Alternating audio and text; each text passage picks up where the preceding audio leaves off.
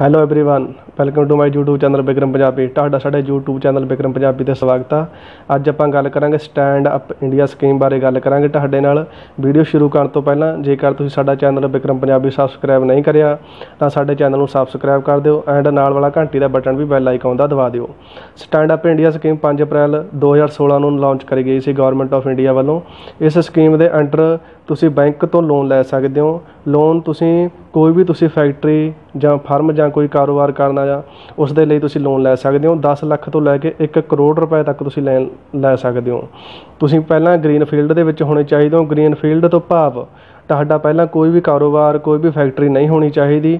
ਤੁਸੀਂ ਕੋਈ ਪਹਿਲਾਂ ਕੋਰਸ ਕਰਿਆ, ਤੁਸੀਂ ਕਾਰੋਬਾਰ ਸ਼ੁਰੂ ਕਰਨਾ ਚਾਹੁੰਦੇ ਹੋ। ਇਹ ਲੋਨ ਉਸ ਦੇ ਲਈ ਹੈ ਸਟੈਂਡ ਅਪ ਇੰਡੀਆ ਸਕੀਮ ਦੇ ਅੰਡਰ ਵੀ ਤੁਸੀਂ ਆਪਣਾ ਕੋਈ ਨਵਾਂ ਕਾਰੋਬਾਰ ਸ਼ੁਰੂ ਕਰਨਾ ਚਾਹੁੰਦੇ ਹੋ। 51% ਇਸ ਦੇ ਵਿੱਚ ਤੁਹਾਡੀ ਸ਼ੇਅਰ ਹੋਲਡਿੰਗ ਹੋਣੀ ਚਾਹੀਦੀ 51 ਸ਼ੇਅਰ ਹੋਲਡਿੰਗ ਤੁਹਾਡੀ ਹੋਣੀ ਚਾਹੀਦੀ ਆ। ਤੇ ਇਹ ਜੋ ਲੋਨ ਹੈ SC ST and woman category ਨੂੰ ਲੋਨ ਦਿੱਤਾ ਜਾਂਦਾ ਹੈ।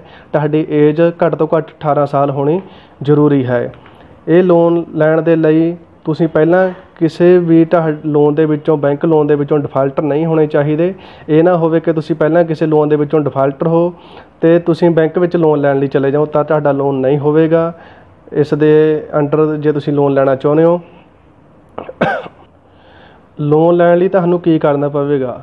ਲੋਨ ਲੈਣ ਦੇ ਲਈ ਤੁਹਾਨੂੰ ਜੋ ਵੀ ਤੁਸੀਂ ਪ੍ਰੋਜੈਕਟ ਸ਼ੁਰੂ ਕਰਨਾ ਚਾਹੁੰਦੇ ਹੋ, ਕੋਈ ਫੈਕਟਰੀ ਬਣਾਉਣਾ ਚਾਹੁੰਦੇ ਹੋ, ਆਪਦਾ ਕਾਰੋਬਾਰ ਸ਼ੁਰੂ ਕਰਨਾ ਚਾਹੁੰਦੇ ਹੋ ਉਸ ਦੀ ਇੱਕ ਪ੍ਰੋਜੈਕਟ ਰਿਪੋਰਟ ਤੁਹਾਨੂੰ ਬਣਾਉਣੀ ਹੋਵੇਗੀ। ਲੋਨ ਲੈਣ ਦੇ ਲਈ ਪ੍ਰੋਜੈਕਟ ਰਿਪੋਰਟ ਦਾ ਹੋਣਾ ਜ਼ਰੂਰੀ ਆ। ਪ੍ਰੋਜੈਕਟ ਰਿਪੋਰਟ ਤੁਸੀਂ ਬੈਂਕ ਦੇ ਵਿੱਚ ਲੈ ਕੇ ਜਾਓਗੇ। ਪ੍ਰੋਜੈਕਟ ਰਿਪੋਰਟ ਬਾਰੇ ਤੁਹਾਨੂੰ ਮੈਨੇਜਰ ਨੂੰ ਬੈਂਕ ਦੇ ਵਿੱਚ ਦੱਸਣਾ ਪਵੇਗਾ।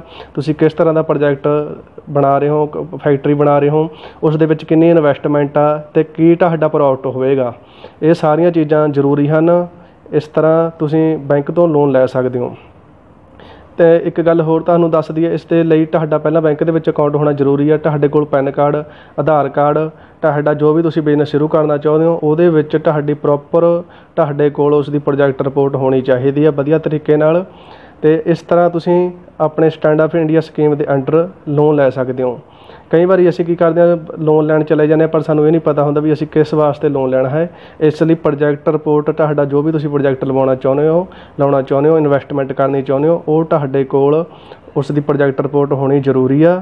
ਐਂਡ ਪਹਿਲਾਂ ਤੁਹਾਡੀ ਕੋਈ ਵੀ ਫੈਕਟਰੀ ਕੰਪਨੀ ਨਹੀਂ ਹੋਣੀ ਚਾਹੀਦੀ, ਕਿਉਂਕਿ ਇਹ ਲੋਨ ਗ੍ਰੀਨ ਫੀਲਡ ਦੇ ਵਿੱਚ ਆਉਂਦਾ। ਗ੍ਰੀਨ ਫੀਲਡ ਦੇ ਅੰਡਰ ਤੁਹਾਨੂੰ ਲੋਨ ਦਿੱਤਾ ਜਾਵੇਗਾ। ਗ੍ਰੀਨ ਫੀਲਡ ਦਾ ਭਾਵ ਤੁਸੀਂ ਪਹਿਲਾਂ ਕੋਈ ਕਾਰੋਬਾਰ ਨਹੀਂ ਸ਼ੁਰੂ ਕਰਿਆ। ਤੁਸੀਂ ਨਵਾਂ ਕਾਰੋਬਾਰ ਸ਼ੁਰੂ ਕਰਨਾ ਚਾਹੁੰਦੇ ਹੋ, ਆਪਦੇ ਪੈਰਾਂ 'ਤੇ ਖੜਾ ਹੋਣਾ ਚਾਹੁੰਦੇ ਹੋ। ਇਸ ਲਈ ਤੁਸੀਂ ਇਸ ਤਰ੍ਹਾਂ ਸਟੈਂਡ ਅਪ ਇੰਡੀਆ ਸਕੀਮ ਦੇ ਅੰਡਰ 10 ਲੱਖ ਤੋਂ ਲੈ ਕੇ 1 ਕਰੋੜ ਰੁਪਏ ਤੱਕ ਦਾ ਲੋਨ ਲੈ ਸਕਦੇ ਹੋ। ਕੋਈ ਵੀ ਆਪਦਾ ਕਾਰੋਬਾਰ ਸ਼ੁਰੂ ਕਰਨ ਲਈ। ਵੀਡੀਓ ਵਧੀਆ ਲੱਗੀ ਲਾਈਕ ਕਰਿਓ ਸ਼ੇਅਰ ਕਰਿਓ। Thanks for watching